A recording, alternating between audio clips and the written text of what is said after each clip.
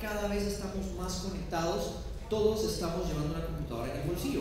¿Quiénes acá tienen un teléfono inteligente, un smartphone, un teléfono que se conecta a internet? ¿Sí? ¿Quiénes no? Interesa ver eso.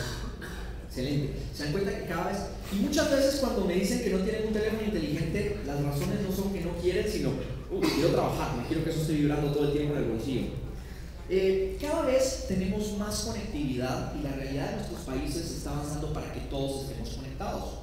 Cuando hablamos de los teléfonos inteligentes, se habla mucho de que son teléfonos muy caros, todavía no llegan a toda la población. A mí no me gusta ver la realidad así, yo creo que es contrariamente diferente. Las personas que tienen menor nivel socioeconómico cada vez tienen acceso a una computadora de forma más barato. Los teléfonos inteligentes no son teléfonos caros, son computadoras económicas.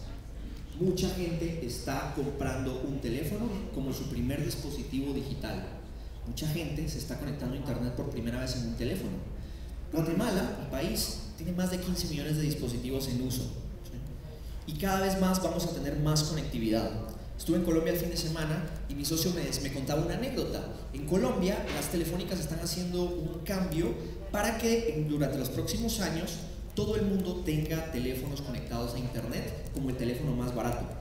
Dice que hace unos días se cambió de apartamento, llegó una nueva señora de, de, de aseo a limpiar y lo primero que le preguntó era cuál era la clave del wifi. Porque la señora tiene un Android y quiere conectarse a Facebook. Esto cambia todo todos tenemos acceso a las plataformas. Entonces, dejemos de vender de que esto del Internet y la tecnología es para algunos privilegiados que están, que tienen cierto poder económico. Yo creo que todos vamos a estar conectados, de una o de otra forma. Ya casi no hay cafés Internet, antes había mucho más. ¿Y por qué ya no hay tantos cafés Internet?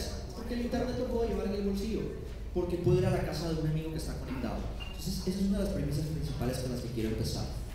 A mí me vendieron de que lo que iban a ver eran computadoras baratas. ¿sí?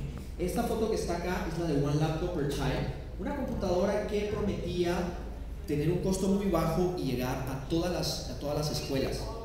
Y en el medio, los niños están teniendo celulares. El problema de los educadores hoy en día es, no me ponen atención, están en Facebook. Facebook es malo, no se paran de ahí.